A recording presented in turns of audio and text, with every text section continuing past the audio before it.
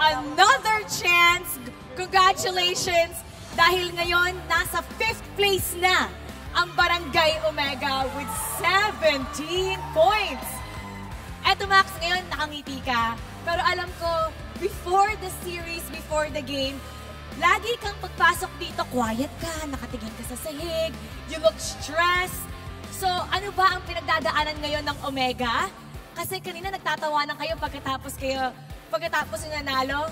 So, how is the stress like right now?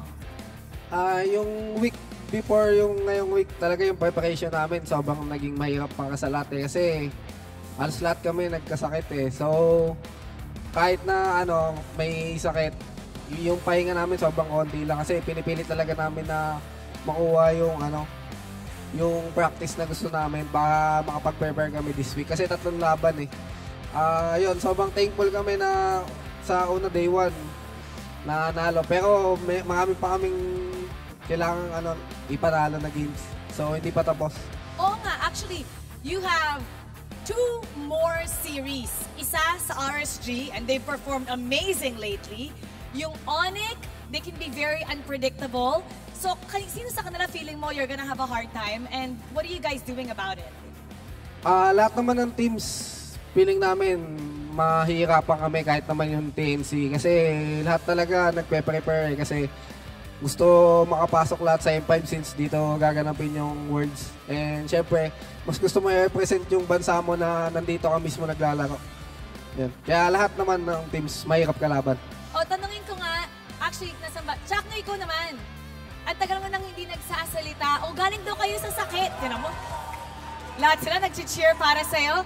Kahit wala kang gawin, hawakan mo lang yung mic, gumiti ka lang. Tinan mo, haw- hawakan mo tapos gumiti ka lang. O, di ba? Napapangiti mo sila. Yung, yung guidance sa likod, oh, talagang tumatayo. O, anong ginagawa mo ngayon para to make sure na tumatawa yung team? Kasi alam ko, stressed out kayo. Minsan kinakabahan kayo, pero pagtapos ng laban, yes, may triumph kayo.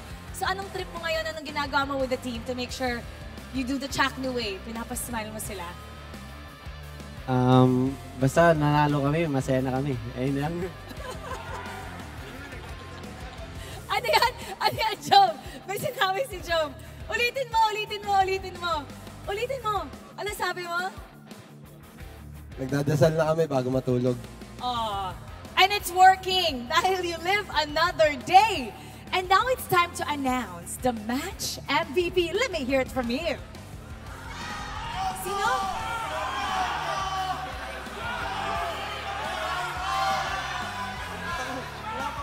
Si Eto Max, sino ba? Okay, tingnan natin kung tama nga ba kayo. Let's take a look at the screen for the match MVP. Si Riota!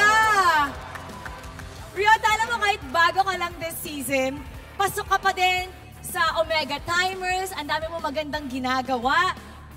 What is it yung goal mo this season kung bakit, even though it's a new team, you're still doing amazing, doing everything para makapasok kayo sa playoffs and to make it for the M5? Ah, y- yung goal ko sa this season, ano, ah, syempre, makapasok kami ng playoffs, saka ah, dapat araw-araw kang may matutut ano, matututunan sa paglalaro mo. O inside scoop naman, bago kayo pumunta sa game na to today, kamusta yung buong team? And after this win, what are you gonna say to them?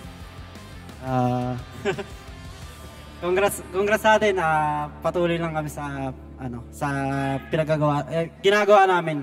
O, bigyan mo naman sila ng shoutout, kayo na pa nila sinisigaw yung Omega. Ah, shoutout sa ano, sa mga supporters ng Omega.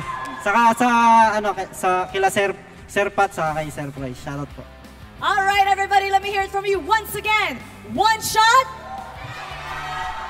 Congratulations to Smart Omega.